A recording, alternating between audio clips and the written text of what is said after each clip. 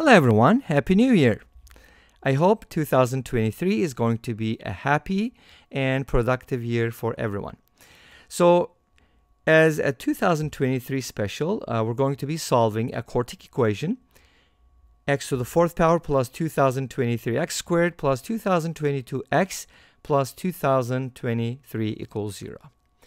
But before we start solving this equation, let's go ahead and take a look at some of the properties of this year's number, 2023.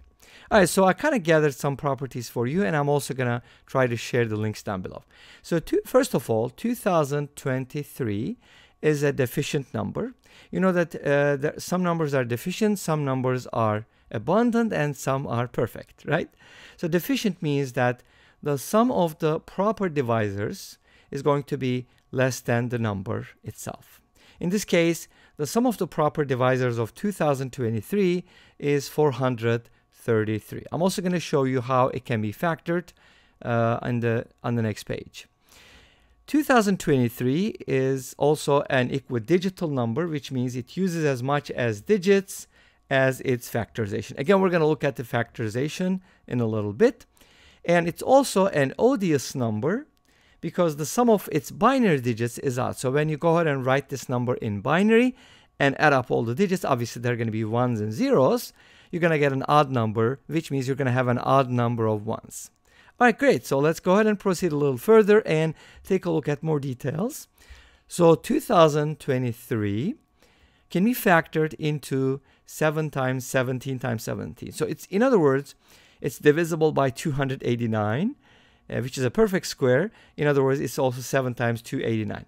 So its divisors are as follows. Obviously, that comes from the prime factors. There are six divisors.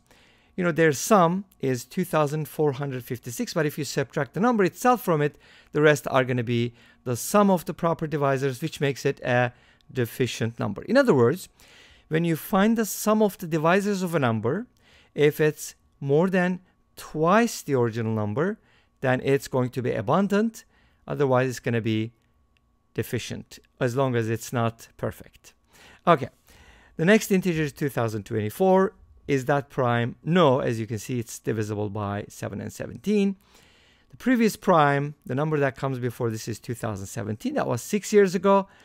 And the next prime is 2027, which is going to be in four years and 2023 prime, so on and so forth. You see a couple properties, and obviously there is much more, and I'm going to try to share all these links with you down below. All right, let's go ahead and proceed with the solution of this problem. So I'm going to go ahead and rewrite the equation, x to the fourth plus 2023x squared plus 2022x plus 2023 equals 0. Great. So hopefully you notice that the coefficient of x squared and the constant term are the same and they're actually one more than the coefficient of x. Okay, so that kind of gives us an idea how to proceed. We're going to go ahead and break this down. I'm going to borrow one of the x squared, so it's going to be x to the fourth plus x squared. And I'm also going to borrow one of the constants, which is 1. And that leaves us with 2022x squared, because I got one of them right here, plus 2022x, that is unchanged, plus 2022, because again, I borrowed one of the constants. Make sense? Hopefully. Okay, now we're going to go ahead and do the following. We're going to break it down into two pieces and use factoring by grouping. In factoring by grouping, usually what you do is you try to find a common factor for each group, and then that just brings a common factor for the whole thing, which you take out and so on and so forth. If that looks confusing or sounds confusing, let's go ahead and see what happens. So first of all, x to the fourth plus x squared plus 1. What can I do with that, right? I don't really know. So let's go ahead and leave it at that for, the, for now. But now for the rest, I'm going to go ahead and take out a very obvious right common factor, which is 2022 was last year, right? x squared plus x plus 1. Now, x squared plus x plus 1 should give you a clue about how to factor this piece here.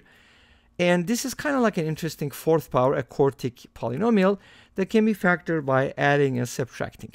In other words, in other words, we're going to turn this into a difference of two squares. Here's how.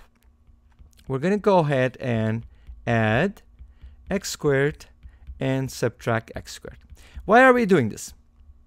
Because this part becomes x to the fourth plus 2x squared plus 1 is a perfect square minus x squared is another perfect square. So everything is perfect and everything is awesome. So let's go ahead and write this as a perfect square now. x to the fourth plus 2x squared plus 1 can be written as x squared plus 1 quantity squared. And x squared is obviously just x squared. And now this is a difference of two squares. And again, I'm only focusing on this part. I haven't done anything in the second part. Let's go ahead and take care of this. And now we're going to add the other piece. So now this can be factored into two factors, x squared plus 1 minus x and x squared plus 1 plus x from difference of two squares again. Let's go ahead and rearrange this a little bit. Let's write it as x squared minus x plus 1. You know, it's always important to write polynomials in standard form. Otherwise, you may lose some points on the test, right? Okay, great. So from highest power to lowest power.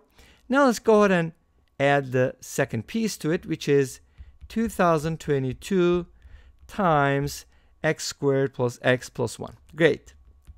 So this kind of justifies what we did because now we have a common factor. And what is it? x squared plus x plus 1. So we can go ahead and take it out. Let's do it. X squared plus x plus 1 we take out and inside we have this plus this. And it's easy because we were just going to add them and 1 plus 2022 is uh-oh gives us the new year 2023. And we're going to set it equal to 0 and it's good because now we have two quadratics very easy to solve by using the quadratic formula. Yes, but the solutions are going to be kind of interesting. Let's see what happens. The first one, hopefully you recognize this. This kind of comes up uh, with, um, what is it called? Difference of two cubes, I think, right? a cubed minus b cubed. So from here, x becomes negative b plus minus the square root of b squared minus 4. That is a negative 3. Uh-oh, that's not good because x is not going to be real. But that's okay. We can handle it. We can write this as negative 1 plus minus the square root of 3i over 2. I know some people like complex numbers, and hey, here you go. This is a complex non-real number. Now let's go ahead and take a look at the other one. Maybe this is going to give us real numbers. No way, right? Because you already know that. x equals negative b, this time 1, plus minus the square root of b squared, which is 1, minus 4 times uh, 2023, which is 8092. Their difference is going to be negative 8091. Such a nice number, right? Well, maybe. So now we can write this as x equals, hmm, how do you factor 8091? Well, let's go ahead and take out the negative first. Use i.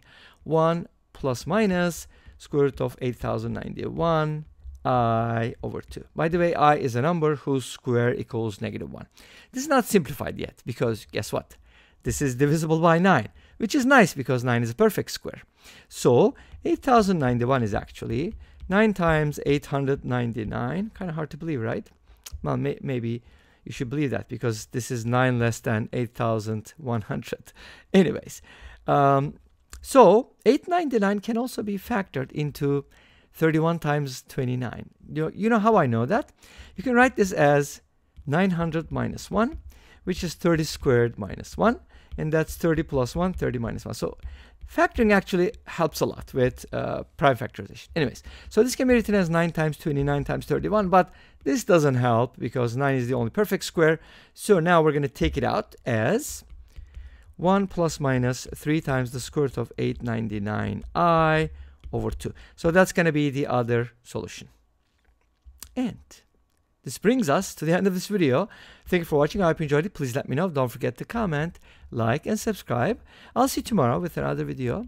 Until then, be safe, take care, Happy New Year, and bye-bye.